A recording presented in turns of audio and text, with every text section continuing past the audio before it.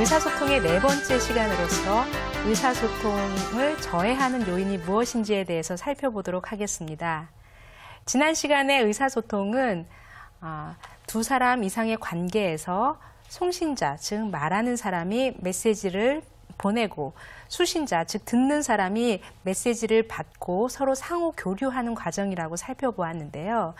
이때 송신자가 표현 방법을 잘못한다던가 또한 수신자의 기분 상태 등 다양한 상황에 따라서 의사소통을 저해할 수 있는 상황이 종종 발생됩니다.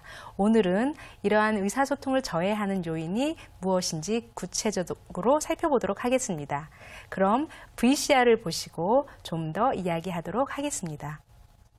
도대체 뭐가 불만인데? S팀장은 다소 깐깐하고 꼼꼼한 업무 스타일과 결제 성향 탓에 부하 직원들이 업무적으로 스트레스를 많이 받는 스타일이긴 하지만 그에게서 힘들게 일을 배운 직원들은 업무적으로 안정적인 궤도에 빨리 오른다. 꼼꼼하고 세심한 업무 처리 탓에 신뢰를 가지고 있긴 하지만 지나치게 깐깐한 결제 성향 탓에 불만이 팀 외부로 새어나가는 일도 많았으며 그로 인해 저 사람 밑에서 일 못하겠다며 사표를 던진 직원도 많다. 회사 입장에서는 유독 S팀장 밑에 근무하면서 사표를 내는 직원들의 숫자가 늘어나니 S팀장의 리더십과 의사소통 능력에 대해서 의문을 가졌고 작년에 S팀장 밑에서 근무하던 팀원들 중 3명이 무더기로 사표를 내자 해당 팀은 계속 휘청거리다가 결국 팀장이 교체되었고 팀원들 또한 무더기로 교체되며 공중 분해되고 말았다. S팀장은 타 부서로 자천되었고 절치부심한 끝에 올해 다시 부서 내 핵심 파트 팀장으로 복권했다. 지금 보신 사례는 의사소통의 저해로 동료 간의 문제를 발생, 문제가 발생되고 결국은 어, 직장에서도 자신의 의사소통 능력의 부재로 실력까지 의심받았던 사례입니다. 이처럼 직장에서 의사소통을 가로막는 저해 요인이 팀에 미치는 영향뿐만 아니라 자신의 업무, 능력까지 치명적인 영향을 미칠 수 있다는 것을 알 수 있어야 합니다.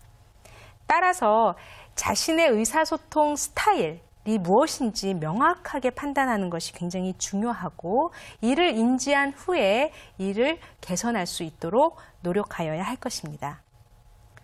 지난 두 번째 시간에 네 가지 유형, 즉 주도형인지, 사교형인지, 신중 분석형인지, 또한 안정형인지 이러한 네 가지 성격 유형에 따른 의사소통 스타일을 살펴보셨는데요. 오늘 잠시 리뷰하는 시간을 갖도록 하겠습니다.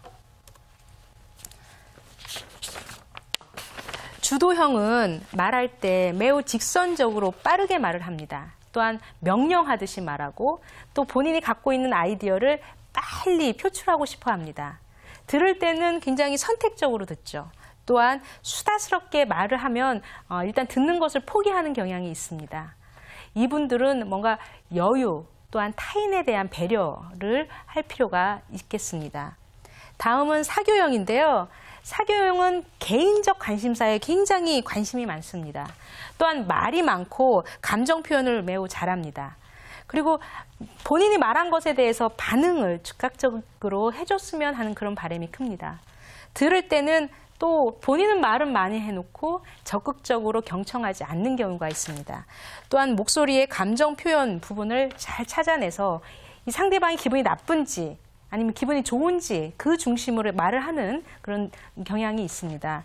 이분들은 뭔가 구조화되고 일관되고 또 시간 관리, 본인이 말하는 시간이 얼만큼 긴지 아닌지를 판단할 수 있는 그런 시간 관리 능력을 키울 필요가 있겠습니다. 다음은 신중 분석형인데요. 신중 분석형은 매우 구체적으로 질문을 합니다. 또한 개인적인 반응을 굉장히 조심스럽게 표현을 하고 논리적으로 자기 주장을 합니다. 들을 때는 상대방의 말